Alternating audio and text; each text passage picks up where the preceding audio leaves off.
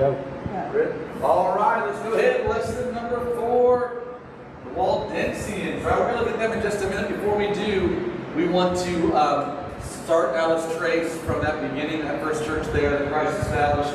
We see it empowered at Pentecost, and then we're going to look at it uh, come through a little bit unto the Waldensians. And so Ephesians 3, 21 there, unto him be glory in the church by Christ Jesus throughout all ages, world without end. Amen. So we know this, that if whatever Jesus started on earth, we'll see that thing continue world without end. It's, it's, it's going to be Christ. He, even in the, in the Great Commission, that he will be with you always. Amen. Even to the end of the world. So whatever Christ established, that thing's going to go on and it's not going to end until he come. Amen. And so that's what we see uh, in, in the scripture. So we ought to be able to see that, that, that pattern that was established. We ought to be able to see that uh, throughout the churches as they as they uh, start and then and then uh, continue on. And then look at the, our page here, page number 35. Again, just this introduction will help us to see the, uh, the aim of this particular uh, section that we're in. It says on page number 35, in this lesson, we will begin to trace the baptized believers through the church age. As we learn about the various Baptist groups and their faith, we will also learn something about the God of the Bible.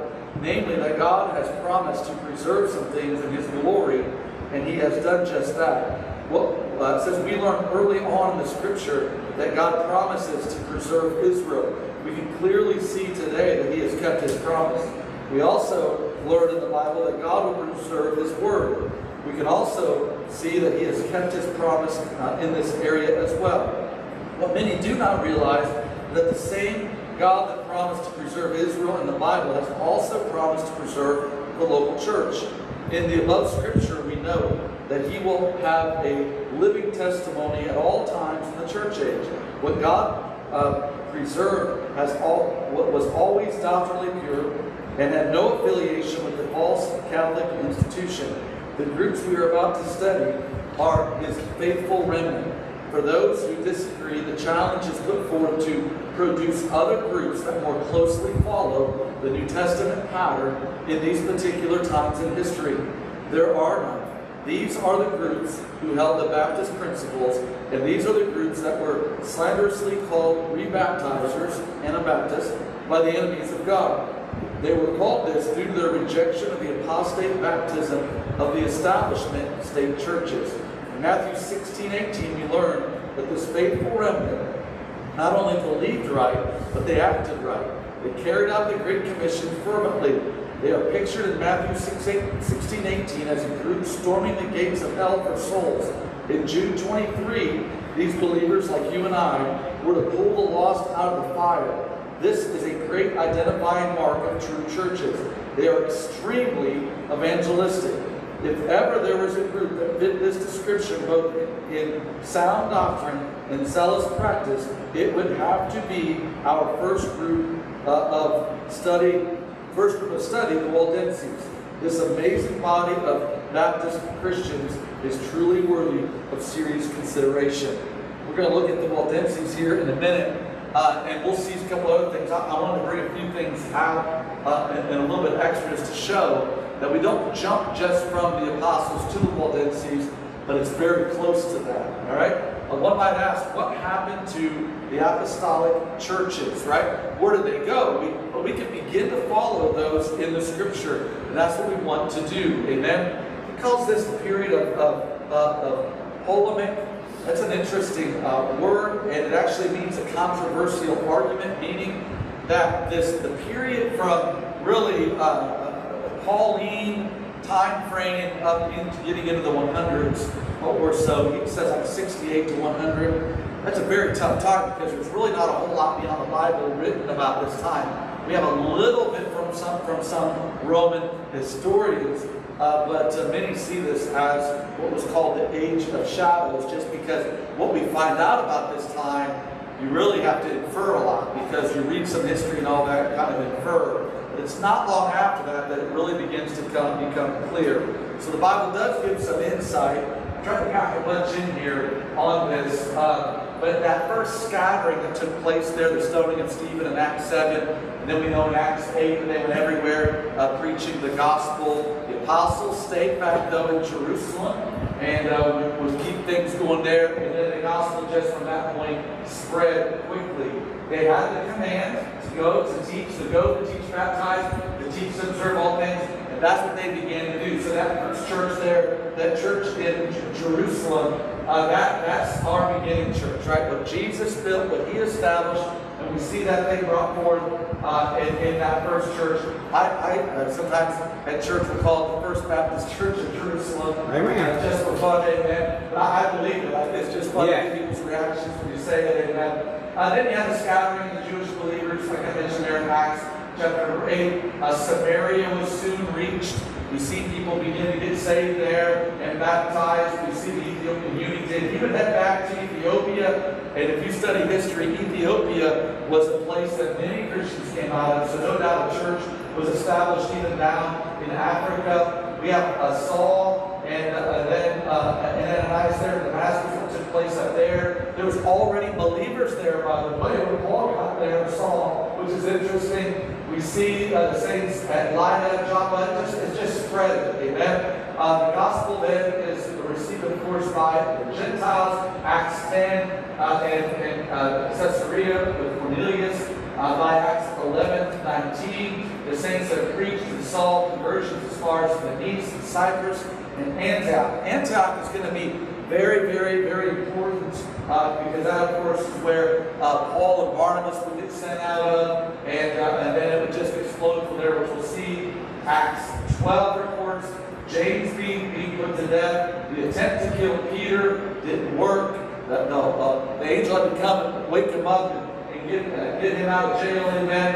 And then we'll find, uh, even Peter talks about being in, in Babylon. I believe that's to be literal not figurative, uh, because it talks about the church of And then in Acts 13, we see the commissioning, Paul and Barnabas. Of course, they go into Galatia, Asia Minor, Macedonia, Achaia, and then ultimately that fourth run for Paul would end in Rome. And uh, so Paul would die in Rome around 68 BC. So this is going to be the, the beginning of the propagation of the church. It's well recorded in the Word of God. So it's not just uh, that what took place there in Jerusalem, we get the advantage from the New Testament of seeing how churches now are starting, they're operating, and they are they're fervent about preaching the gospel. So we see the doctrine, how something's established, but then we see the practice and how this actually works out. And then, by the way, uh, once we, with, with Paul in Rome, we begin to see Roman persecution the, the persecution of those early believers. And so uh, I just kind of brought this out for to see a little bit. Uh, if you notice, if you look way down here in Jerusalem, this is where that, that uh, first church would be established. And then, man, it wasn't long. You're only talking 30 some years. And now all of a sudden, this doesn't even show which place out here in Ethiopia. And all these little dots all over the map, churches are started. All, all over the map, even in Crete. Uh, Titus is sent to Crete to to something was already going on there, but it was it was not right doctrinally. And so Titus is sent there to ordain elders and to reestablish a, a proper way of doing things. And he called them out a bunch of things, but he was ordaining elders and then setting up uh, bishops there to run those churches there in Crete. We know that, uh, that Paul ultimately would end up this last journey, of course, going through there, Pharos and the uh, Rockladon and all that would come, and he would end up all the way up in here in Rome. So all, but all along the way, all along the way, you're finding believers. And so, and, and, and when, you, when you look at even uh, Priscilla, Aquila, and all that, they, they, they had access into Italy and Rome area and all that. So the, the gospel going everywhere. And it happened very, very, very quickly. Churches now are being established, and they're being established based on what they've been taught by the apostles and first generation people being saved right after them as well. So what we see in that will tell us that this is how it should continue. How that's been established is how we should be today. If it's different, then we've somehow departed from what Jesus established. Amen? And so the Roman persecutions would go, this would just kind of show a time frame. It is believed that Nero would be the one that would ultimately have Paul put to death. And, uh, and then, of course, Domitian, Trajan, all these 10 very well-known emperors. And it would take us all the way into the 300s. This Roman persecution of, of Christians, of people trying to establish local churches after the pattern of what Jesus Christ started, uh, and, and, it was hated. We were, uh, our people were, were really hated for what was going on because of, of how people were being changed through the gospel. It wasn't just joining the club. It wasn't just uh, having a new religion. Many religions that have worked right, right alongside of Rome all these years, and they were just fine. Now, this religion that's based on Jesus Christ and the truth, man, people were being transformed, and it actually caused quite a stir, just like it still does to this day.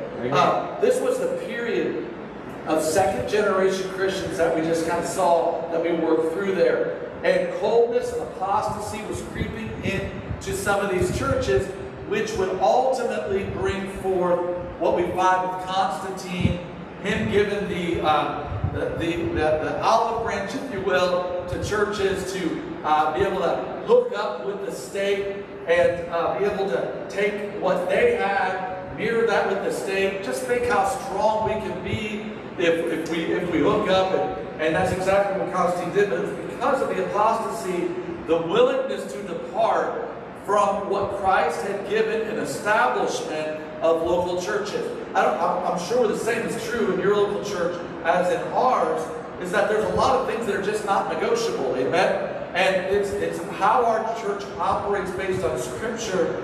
We just, we just can't throw that out. We, we can't depart from that. We, we, we have what the Word of God has given. Right. And if that's I don't know. I don't. I don't want to see our church lose the candlestick. I, I don't. I don't want to see the, the, the ministry of the Holy Spirit not be invited into our local church and it's just man-made now. That, that's not. That's not on the table for us. Amen. But for some it is. And for many, church to them is more about themselves than it's about the Lord. It's more about about drawing a crowd and having impact than it is on seeing lives uh, uh delivered and then transformed uh, uh, for Christ. And so we just got to keep the main thing the main thing. And the only way we'll do that is if we let what Christ did in starting the churches and what we see in the propagation of the churches throughout the, the New Testament epistles, if we lose that pattern, then we've lost what Christ established. And while many have, we can't. Now, what this says is that it's in the midst of this apostasy that God does raise up a group of people who would ultimately be known as the Waldenses. Now, uh, Brother Alexander wrote this book because there's just not a lot out there on them. I will just say, if you're interested in this period of time, this book is not a long read. Not a lot of books do I read cover to cover all that. I'm more of a skimmer than I am a reader. But I've read this book. Amen. It's a really good book. He really discusses and brings out a lot of source material and things that you really won't get elsewhere. But it's a great book. We'll reference that here in just a minute.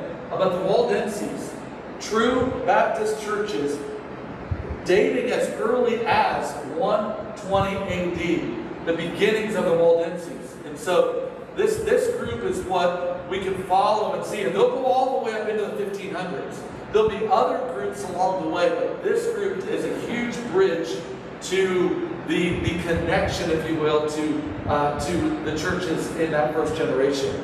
Their antiquity is proven, meaning the facts of their, of their history. It's a proven fact, and uh, which you can, you can see Hebrews 13 24 The book of Hebrews was, was completed by AD 95. We find in that book uh, listing out uh, some things there that, uh, that were identified with Waldenses. In a sense, definitely could, could strongly be a strong testimony of the baptized believers, well established in Italy by them. By the time Paul got there, he was preaching truth. Way up in Rome, we're seeing what Paul is doing there. Of course, believers then were, were born and churches were born out of that. The evidence of the church at Rome, Italy, possibly dates back to the convert, converts of Peter on the day of Pentecost. Remember, because people all traveled in for that day of Pentecost, and all languages and nations and all that were represented in kingdom, and then they would go back into their respective places. And so, a lot of places that Paul went, the gospel had already got to. Uh, I believe Italy, Rome was one of those.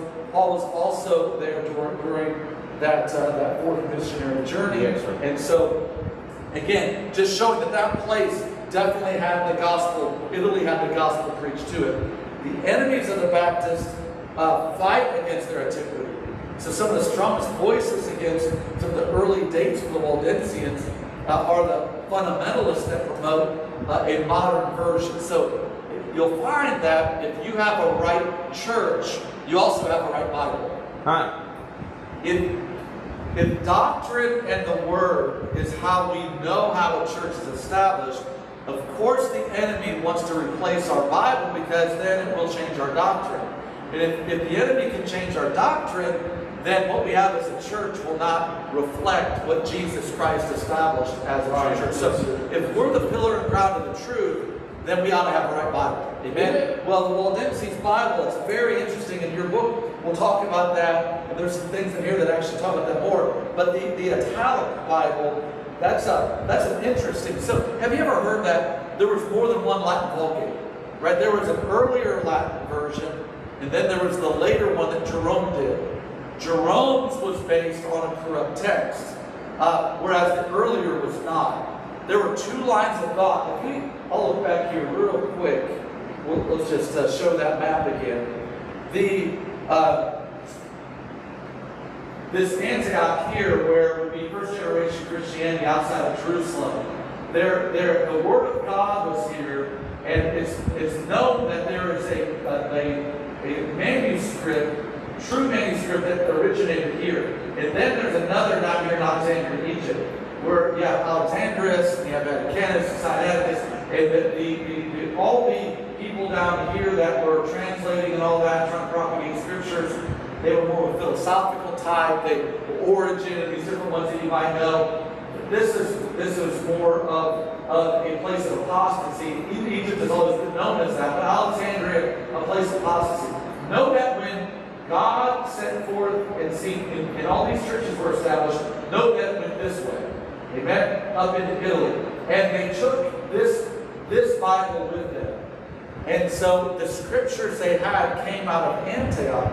And so, of course, if Rome then, the, in Italy, if the believers came from what was established from Antioch through Paul, then what we should find is correct scriptures. Well, you can look up and you can do some study on the Italic Bible, which would be the Vetus Latina, or what was called the Old Italian Bible. This is what the Waldenses would use, and it would go all the way back into the 300s AD. And so, very interesting that, that, that that's the case. And it's believed that the Waldenses were actually the ones that, that translated and brought forth that particular Bible. If you study the Waldenses, you're going to find these were people of the book.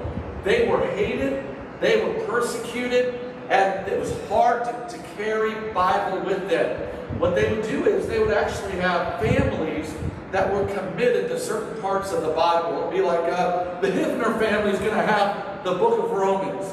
And it's, it's on you to memorize it and be able to reproduce it. So if, if, if the Romans came in and burnt all the scriptures, all the parchments, if, if they burnt all the copies, as soon as that happened, the Hivners got to, got to hide out and they have to repen the book of Romans. Right? And so all these families in the Waldenses that were grouped together, they were given different parts of the Bible, and that's exactly what they would do. And they were they were known to hide out in the Swiss Alps. And they would come down and they would they were they would evangelize, and then as they would be persecuted, they'd run back up into the Alps and they would hide out and they would train and they they, they had what, what uh, they, they they called uh, their little schools and their schools all they did was teach Bible. They weren't teaching anything else. They taught Bible. Amen. Right. And uh, so, and they, did it, and they knew their preachers knew the life expectancy of, of a Waldenses preacher was three years. And then they would go out, they would preach, they would establish works, and then they would get killed. And that's how they operated for centuries, centuries, and their history. Matter of fact, there's a place, uh, the, the Valdese in North Carolina, you can go there. Uh, it's a, it's a Waldensians Walk of Faith, is what it's called. If you go down Highway 77 and go south uh, out of, out of uh, Virginia, you'll hit it. And uh, you go down there, and it's, it's Waldensian descendants. There's actually two uh, uh, groups of Waldenses in our in our in United States of America that live here. One in North Carolina, I think the other one's up in Wisconsin, I think it is. And uh, you can go, you can learn. They, they teach their family history. And if you ever get a chance to go through there, it, man, you'll you'll weep because you'll go through and you'll You'll, they'll show you uh, videos where they've gone over and compiled history and brought a bunch of stuff back, and they've built things here that, that kind of show what their people went through. But they they know their history, and they know how far back it goes. Uh, but the Word of God, you can trace back that far. The, the Olivetan Bible as well. This would be a French translation. It would be dated much later. It would be dated into the 1500s. Uh, but this was the first French translation of which is believed to be the Geneva Bible. But the one who translated is well known. It was a Waldensian named uh, Pierre Robert Olivetan. And so that was Waldensian. So from, from the very early ages, they were people of the book. And all the way up into the 1500s, the Waldenses were people of the book. Now, if you read a lot of Waldenses, you'll find that the reformers tried to claim them and say that Reformed theology came from them. That's just wrong. They try to say that they were they were more Protestant. They weren't. They were before the Reformation, well before. And so anyway, there's a lot of people trying to hijack. I think even uh, uh, uh, who is it? Uh, uh, Ellen White is uh, trying to think of her first letter, whatever. The she, Seventh Day Adventists. They try to say the Waldenses were Sabbath day worship, worshipers. They weren't. Uh, but you can go back, but they, everybody tries to claim them for something. Uh, but when you really study Waldensian history, they were people of the book, they evangelized, and they, they didn't have Baptist uh, a doctrine for their theology. But just know that before the Bible was as it is today, we have a great opportunity today. We have a full, completed scripture. We can go back, we have time, we can study, we have all kinds of tools.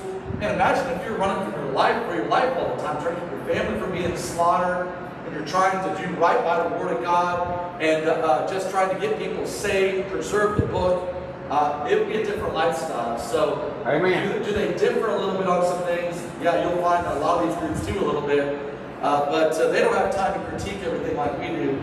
Uh, they, were, they were just trying to do what they could while they could because their life was going to be short. Amen. So, uh, the Waldenses and their Bibles. So many sources prove their antiquity.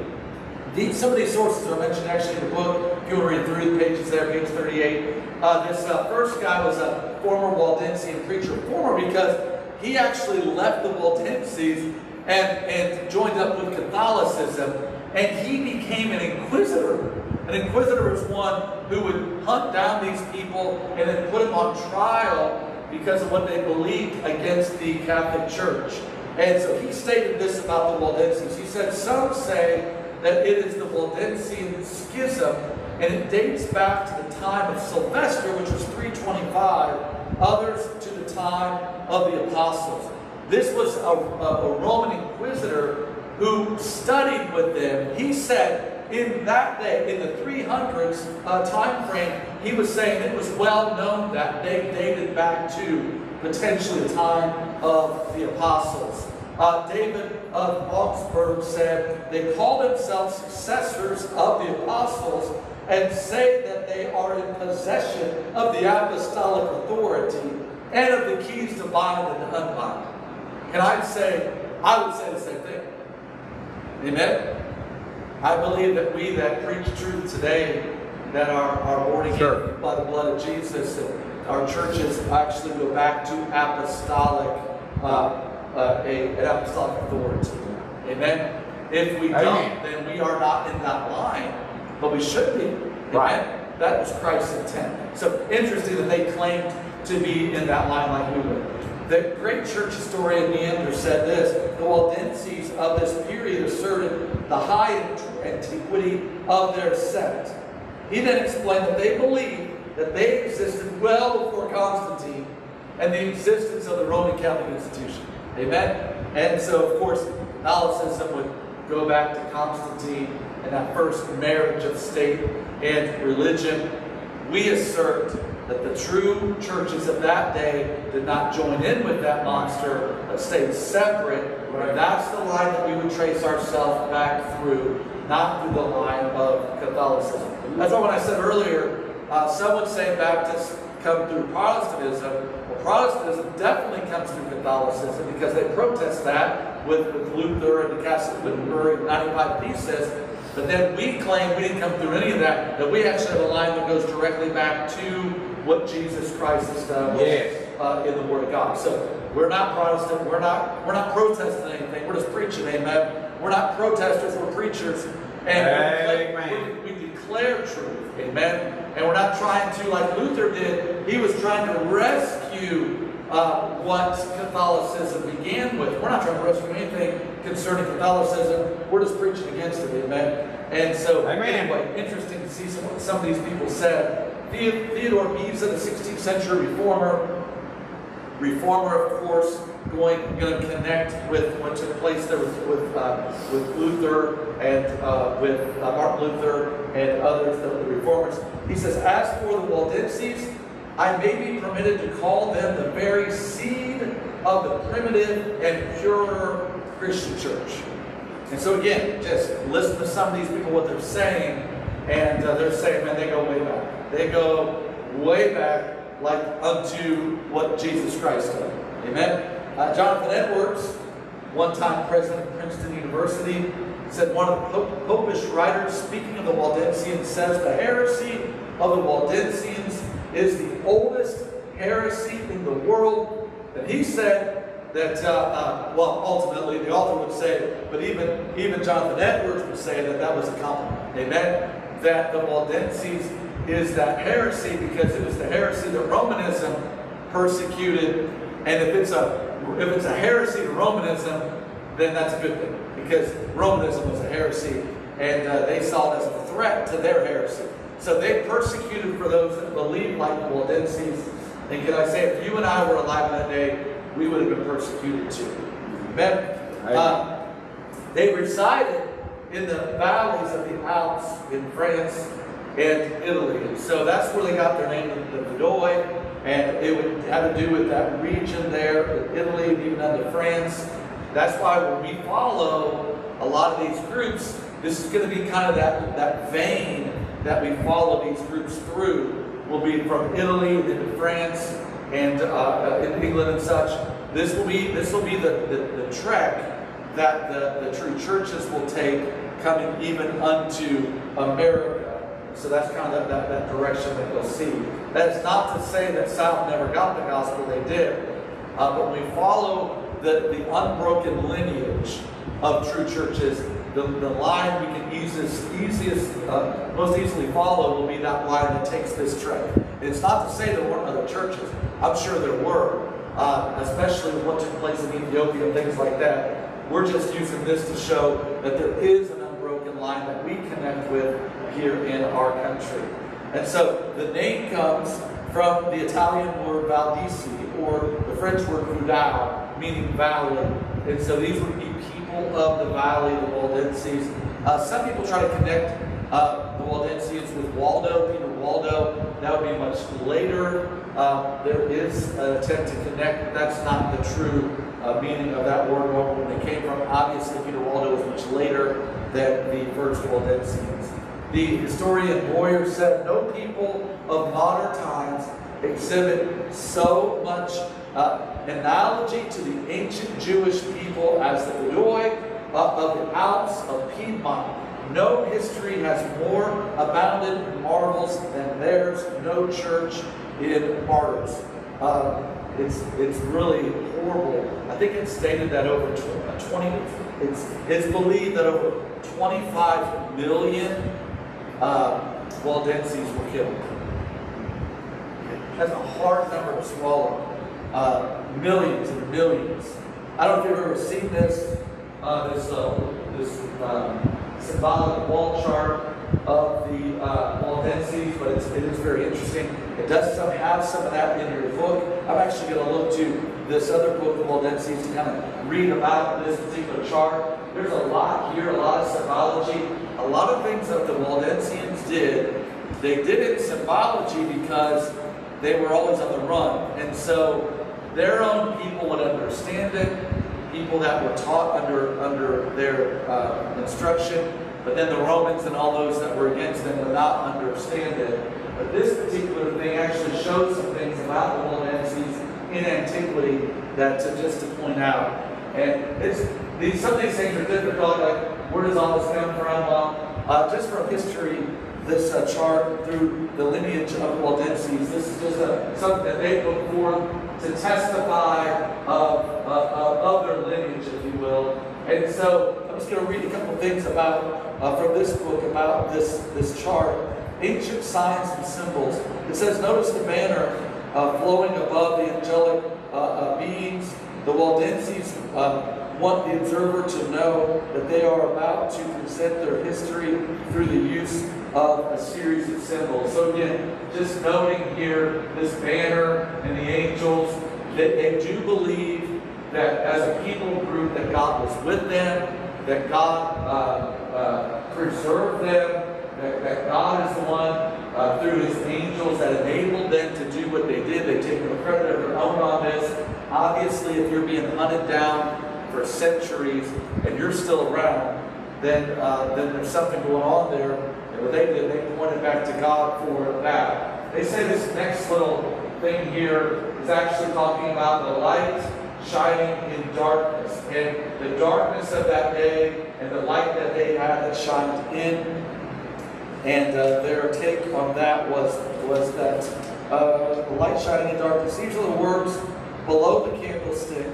This is the most noteworthy symbol as it has always uh, uh widely, see, it has always been widely used and is still commonly used today amongst the Waldensians. They're just a little candlestick, but they're shining in darkness. It says this symbol tells the tale of the dark ages the candle is, the, is enshrined in darkness. This, this speaks of the cruelty and bloodshed they experienced at the hands of Rome.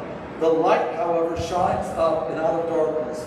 This is, of, of course, speaks of their evangelistic effort during those dark days. Notice also the seven stars that surround this symbol. These seven stars represent the seven churches of Revelation and speak of the apostolic origin of the Vaudois. And so what they're saying is, is that what, what God started um, with through Christ, and then we see depicted in, in, in, the seven churches there of Asia Minor spelled out in the book of Revelation, that they draw a connection to. And so they're showing that in this chart that they would connect themselves with those seven churches. The, the next thing is the, uh, the bush burning but not being consumed that he's holding up here uh, the burning bush.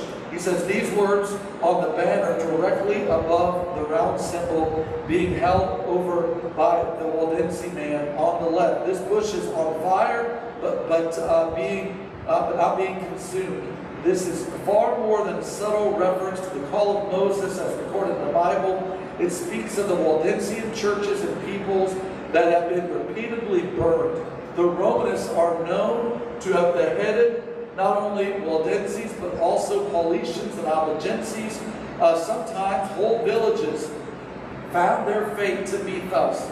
The Catholics would cart the, head, the heads up on the mountains of the Roman churches, uh, Romanist churches, then would impale their heads on large pointed wooden poles and cover them with pitch. Raiders would pass by with torches and set the heads on flame. So what they would do is they would, uh, the, the, the, roads that would lead up to these, these, these uh, uh, Roman, Roman areas that they would find Waldenses in that were hidden out, they would then take these roads that would head back to the Roman areas.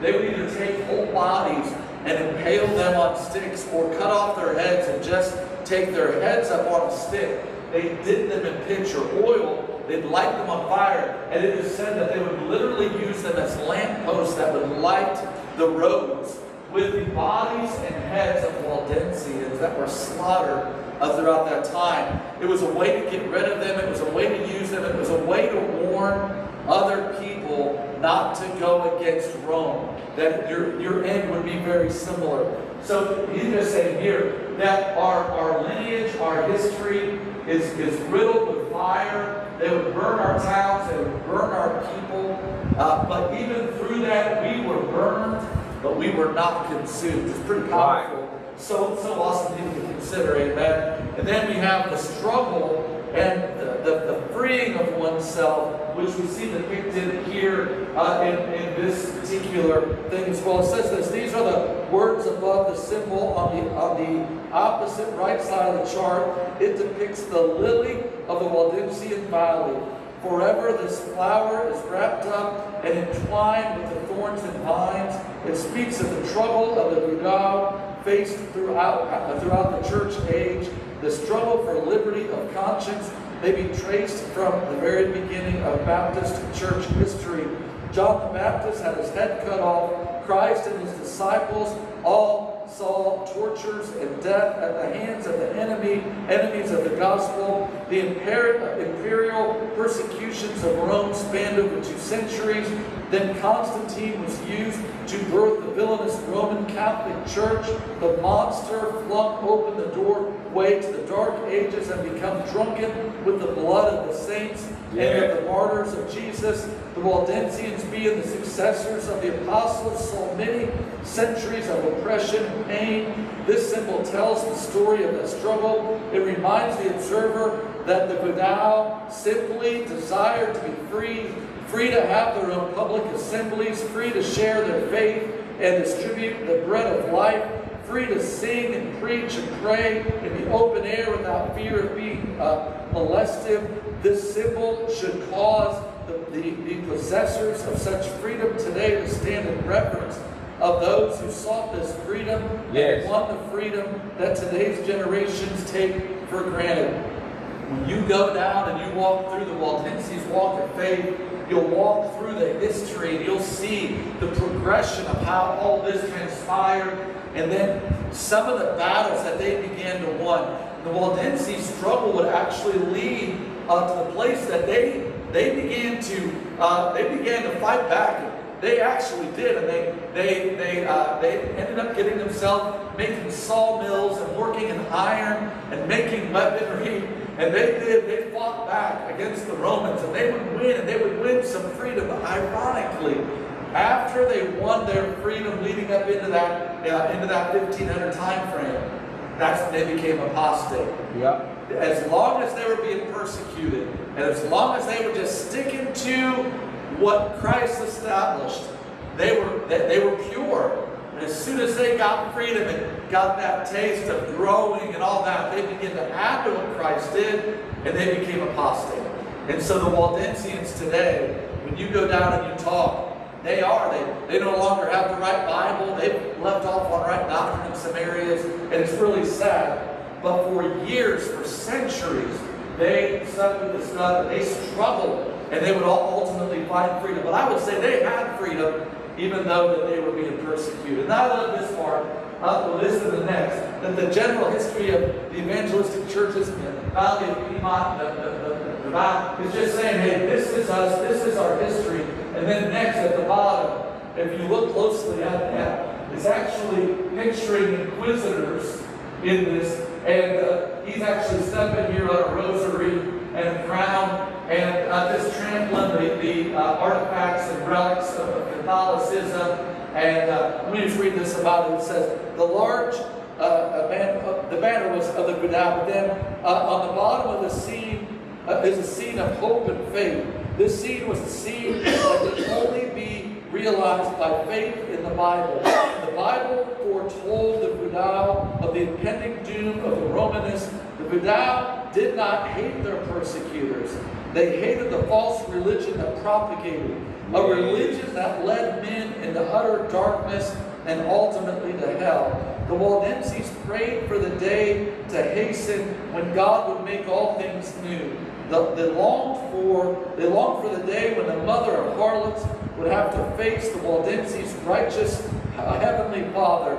They knew there would finally come a day when the devil, the beast, and his false prophet would all be cast into the lake of fire Amen. and be tormented day and night forever. And alas, in heaven, the Vaudois would finally be free. But it shows that struggle of what they went through and that faith that one day it would be realized. So again, the, the Waldenses, they, they don't they really don't have in, in history a proper place. But you and I, if we study them, you'll see how important they are. Look over at Hebrews 13. This is a really important text to read.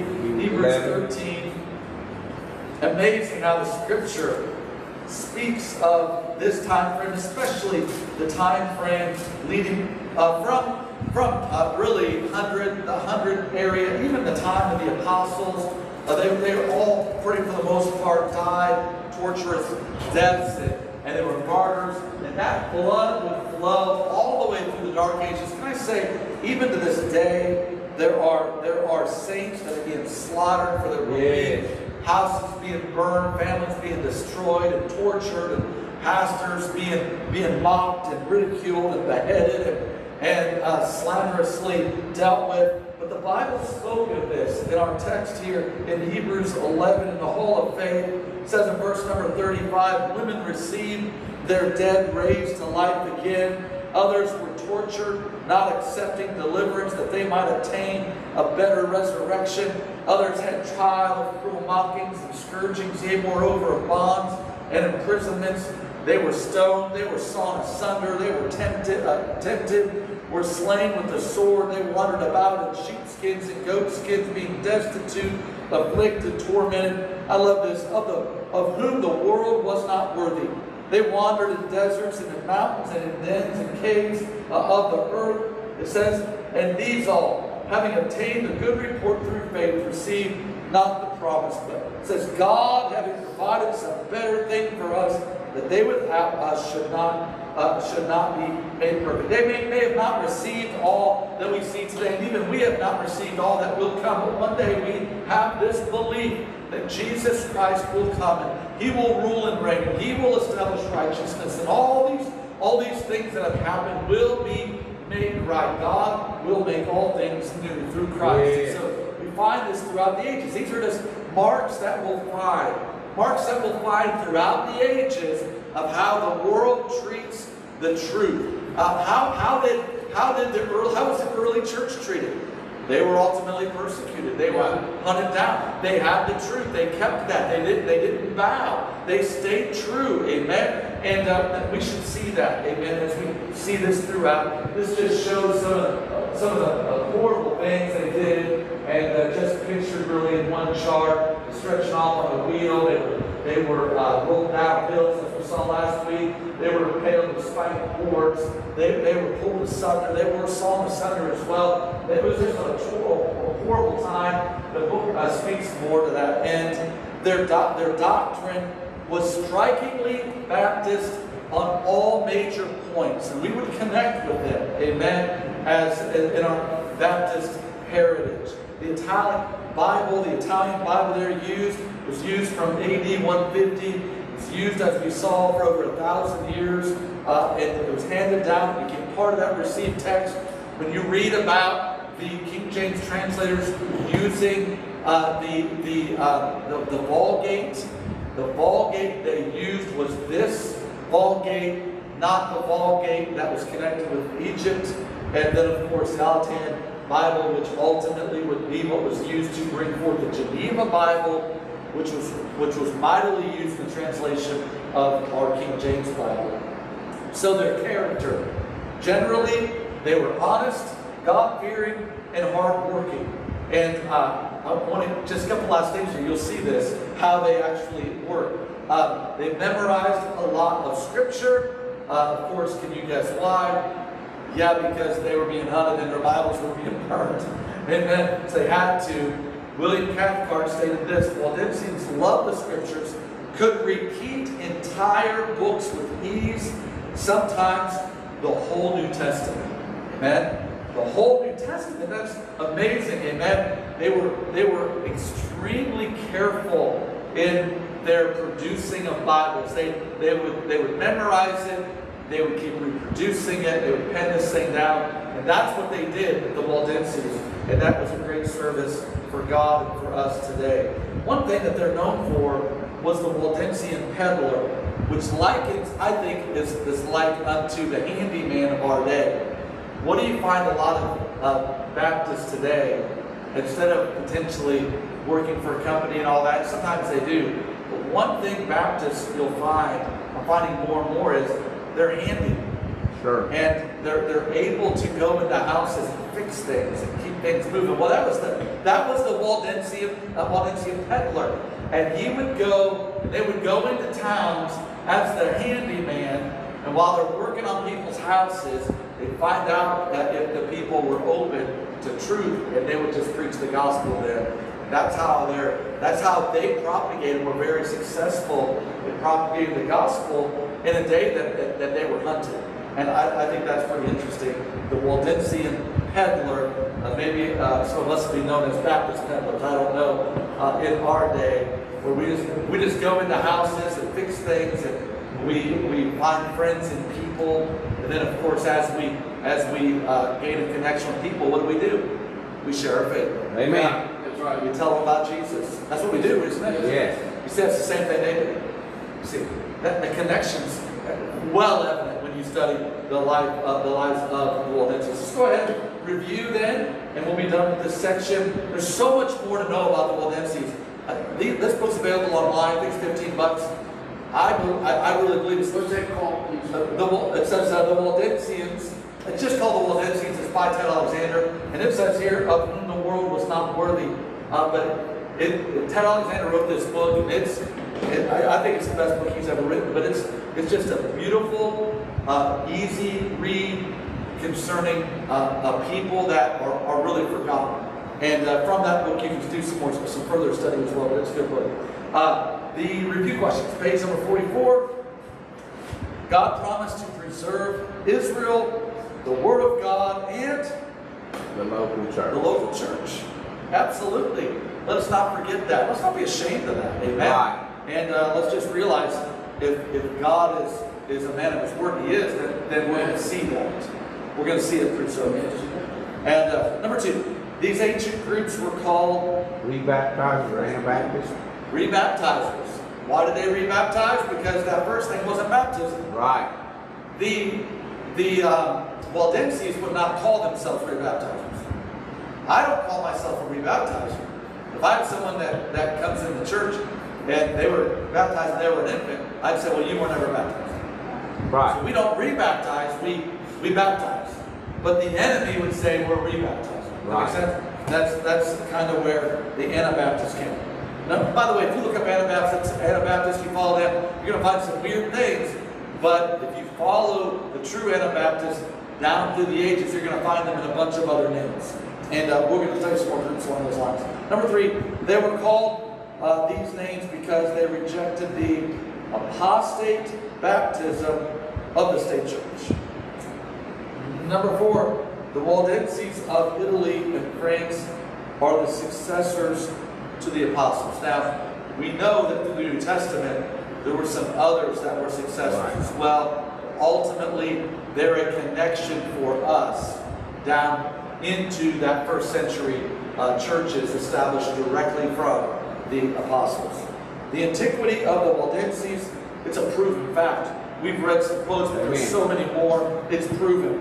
Number six, the fundamentalists fight against the antiquity of the Waldenses because it exposes the modern versions or false versions. Yep, it sure does because if you can see that the Waldenses were around all the way back into that 100, 150 AD time frame, then you're going to find they had a Bible.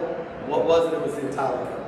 Number seven, A History of the Baptist by John T. Christian, which I talked about uh, last time, two volumes of Christian. He actually talks about the early dates for the Waldenses. And so we would look to his history. He was a Baptist, and uh, his, his books are highly regarded uh, for their uh, just the the uh, veracity of their, the, the works there. Number eight, the Waldenses resided in the valleys of the Alps, France and Italy. So a lot of the groups we're going to study, we're going to see come through there. Number nine, sometimes the Waldenses lived in caves for months at a time, hiding from the Romans, the, the, the, the, Roman, Roman Catholic Church. They would literally, at, at the mouth of the cave, set fires and smoke them out. And when they would come out, they would just slaughter them. Horrible. Yeah, over 25, it's believed that over 25 million Waldenses were martyred for their, for their faith. What, nineteen, sorry? What's that? Number nine? uh, was months. Months. They, they would hide in caves for months at a time. 11, the Waldenses. By the way, there's a replica of a cave. One of the families of the Waldenses went back over, and they were able to find a cave with, because they would, they would write on the walls, they would carve up. They found a cave uh, over in the Alps, and they actually came back. They recorded the dimensions, took pictures, and everything of this. They came back and they produced a replica of that cave, which you can walk in and, and go into there in North Carolina in the of Faith. Number 11, the Waldenses uh, text of Scripture is uh, represented in history through the Italica Bible and the, Al- uh, the Bible. Number 11, William Cathcart stated sometimes the Waldenses could repeat the entire New Testament. I don't even think, brother, I don't think you can do that yet. Oh, no. You got a lot of scripture memorized. Not really. Oh, that's, that's amazing. The evangelistic salesmen were called Waldensian peddlers. And salesmen because they would go in and peddle, they would peddle items, they would peddle services, they would go in and be useful unto people, befriend them, and then they gain their trust and then witness to them. And I believe that's very similar to what some of us do even to this day. And lastly, I'll leave you with this thought. This is what uh, some of the Roman inquisitors did. This is a, a, a, a pictorial. I believe this is picture, pretty sure picture there in that wall of faith. They have a lot of pictures of things like this. Other this where this came from. And this torture was to hang him by his thumb and with a weight on his feet to get him to, to get him to recant. All they wanted these people to do was to reject Christ. That's it. Reject your doctrine of baptism. Reject your belief that salvation is alone in Jesus Christ. Walk away from it, and we'll let you go. Crazy. Jesus said we have the church doing that too, right? What's that? That was the Catholic doing. Oh, absolutely. Yeah. Yeah, they were really good about thinking up horrible ways to torture people, try to get them to uh, deny Christ. You know, it's interesting that they would deny that. They do not deny that. Yeah, They do they not, look at it in a time frame that they're not proud of most of them, but yeah. they do not, the Catholics do not deny any of these things. Yeah, it's well documented. The Catholics say that their chains, they've grown, they've gotten better. They say it was the time period. And that's how people dealt.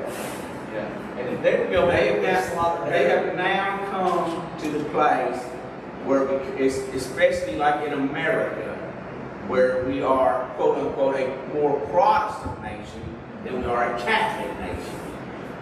It, and actually of a heathen nation we're anything.